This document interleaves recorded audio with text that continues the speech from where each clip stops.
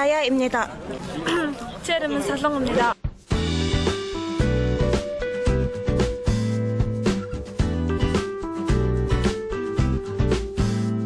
한국에 온 건 언제 거예요? 1년 전? 네. 2년 전인가요? 같이? 네, 그렇습니다. 같이 온 거예요? 네. 음, 작년에 왔습니다. 간호학 배우고 싶습니다.